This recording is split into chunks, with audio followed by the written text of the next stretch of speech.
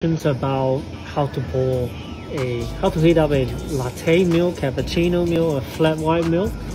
We should go back to the basics. In I'm not sure about in other places, but in Australia, in most specialty coffee cafe, we technically heat up the milk exactly the same.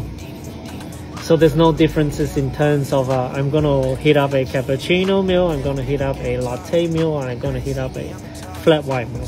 In in here in in our cafe, what we normally do is um, if customer order latte, we're gonna use a glass, and if they order a cappuccino or flat white, will be in a mug, and a latte will be in an eight ounce cup, and a cappuccino and a flat white will be in a um, six ounce cup.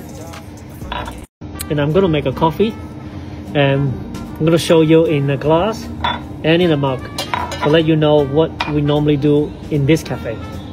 Before you heat up milk, you should always have your shot ready. That way, your milk, you know, you can pour your milk in a perfect way. And as heating up milk, should be always doing the same.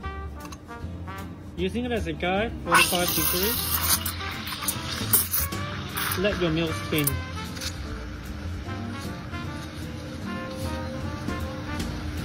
and after it become warm it should be having a very very little sound or maybe you said the hissing sound